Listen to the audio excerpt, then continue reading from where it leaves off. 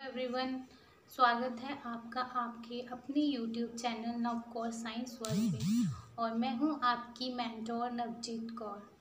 तो आज की वीडियो में हम पढ़ने जा रहे हैं mnemonics to learn taxonomic hierarchy तो ये निमोनिक्स की वजह से हम बहुत आसानी से इसको लर्न कर सकते हैं और ये बहुत सारे एग्ज़ाम्स में पूछा जाता है। जैसे नीट में एम में ये पूछा जाता है। पैरामेडिकल जो एग्ज़ाम होते हैं पैरामेडिकल के लिए जो एग्ज़ाम्स होते हैं, उसमें भी ये पूछा जाते हैं।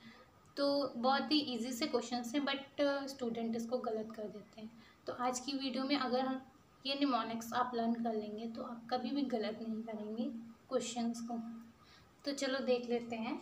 हमने हर एक कैटेगरी को लिखा हुआ है। इसके असेंडिंग ऑर्डर के अरेंजमेंट में।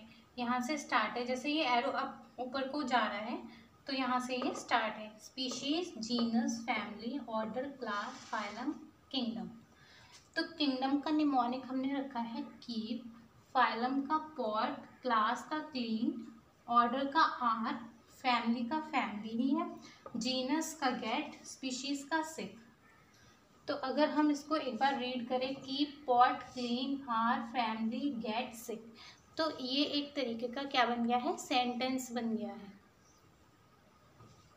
इस सेंटेंस को लर्न कर लेते हैं तो आपका कभी भी टेक्सोनॉमिक हायरार्की है, वो गलत नहीं होगा। और नीट में एक क्वेश्चन के फोर मार्क्स होते हैं तो आपको फोर मार्क्स आसानी से मिल जाएँगे। तो ये छोटी सी वीडियो मैंने आपके लिए बनाई थी। होप ये हेल्पफुल रही होगी आपके लिए।